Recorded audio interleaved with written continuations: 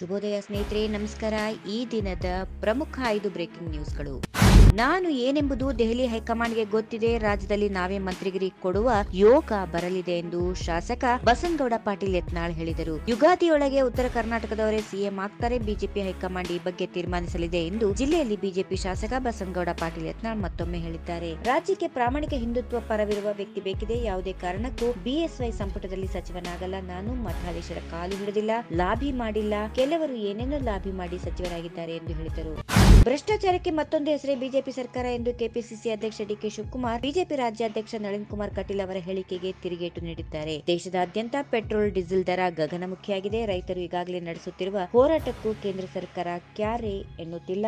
ಈಗ ಎಲ್ಲಾ ವಸ್ತುಗಳ ಬೆಲೆಯನ್ನ ಏರಿಕೆ ಮಾಡಲಾಗಿದೆ. ಈ ಬೆಲೆ ಏರಿಕೆ ನೀತಿ ವಿರುದ್ಧ ಕಾಂಗ್ರೆಸ್ ಹೋರಾಟಕ್ಕೆ ಸಿದ್ಧತೆ ನಡೆಸಿದೆ ಎಂದು ಇವರು ಹೇಳಿದ್ದಾರೆ. ಇಂದು ಸಂಜೆಯೊಳಗೆ ಹೋರಾಟದ ರೂಪುರೇಷೆಗಳು ಸಿದ್ಧಗೊಳಿಸುತ್ತೇವೆ ಎಂದು ಕೂಡ ಹೇಳಿದ್ದಾರೆ. ಜೆಡಿಎಸ್ ಸಣ್ಣ ಪ್ರಮಾಣದಲ್ಲಿ ಇರಬಹುದು ಆದರೆ ಕರ್ನಾಟಕದ ರಾಜ್ಯ ರಾಜಕಾರಣಕ್ಕೆ ಜೆಡಿಎಸ್ ಅನಿವಾರ್ಯವಾಗಲಿದೆ. ಅದೇ ಕಾರಣಕ್ಕಾಗಿ ಜನ ನಮ್ಮನ್ನ ಇನ್ನೂ ಹೆಚ್ಚು ಉಳಿಸಿದ್ದಾರೆ ಎಂದು ಮಾಜಿ ಮುಖ್ಯಮಂತ್ರಿ ಎಚ್ ಡಿ ಕುಮಾರಸ್ವಾಮಿ ಅವರು ತಿಳಿಸಿದ್ದಾರೆ. ಮಾಜಿ ಮುಖ್ಯಮಂತ್ರಿ ಸಿದ್ದರಾಮಯ್ಯ ಅವರು ಜೆಡಿಎಸ್ ಅನ್ನ ಪಕ್ಷವೇ ಅಲ್ಲ ಎಂದು ಹೇಳುತ್ತಾರೆ. ಆದರೆ ದಿನ ಬೆಳಗಾದ್ರೆ ಕುಮಾರಸ್ವಾಮಿ ಮತ್ತು ಜೆಡಿಎಸ್ ಪಕ್ಷದ ಬಗ್ಗೆ ಮಾತನಾಡುತ್ತಾರೆ. ಪಕ್ಷವು ಸಣ್ಣ ಪ್ರಮಾಣದಲ್ಲಿ ಇರಬಹುದು ಆದರೆ ಕರ್ನಾಟಕ ರಾಜ್ಯದ ರಾಜಕಾರಣಕ್ಕೆ ಜೆಡಿಎಸ್ ಅನಿವಾರ್ಯ ಎಂದು ಹೇಳಿದರು. ಬಿಡಿಎನ್ನಲ್ಲಿ ನಡೆದಿರುವ ಅಕ್ರಮಗಳಿಗೆ ಬ್ರೇಕ್ ಹಾಕಲು ಸಿದ್ಧ.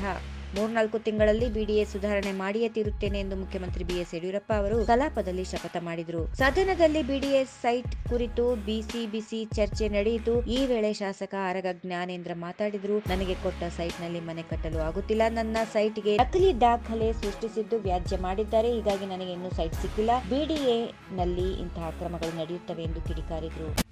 ಸದನದಲ್ಲಿ ಕಲಾಪ ನಡೆಯುತ್ತಿರುವ ವೇಳೆ ಅದನ್ನು ಮೊಬೈಲ್ ಫೋನ್ ಮೂಲಕ ರೆಕಾರ್ಡ್ ಮಾಡಿಕೊಳ್ಳುವ ಸಂಸದರಿಗೆ ರಾಜ್ಯಸಭಾ ಸಭಾಪತಿ ಎಂ ವೆಂಕಯ್ಯ ನಾಯ್ಡು ಛೀಮಾರಿ ಹಾಕಿರುವ ಪ್ರಸಂಗ ನಡೆದಿದೆ. ಸದನದ ಒಳಗೆ ಇಂತಹ ಅನುಚಿತ ವರ್ತನೆ ಮತ್ತು ಚಟುವಟಿಕೆಗಳು ಸಂಸದೀಯ ಶಿಷ್ಟಾಚಾರಗಳಿಗೆ ವಿರುದ್ಧವಾಗುತ್ತದೆ ಎಂದು ಅಸಮಾಧಾನ ವ್ಯಕ್ತಪಡಿಸಿದ್ದಾರೆ.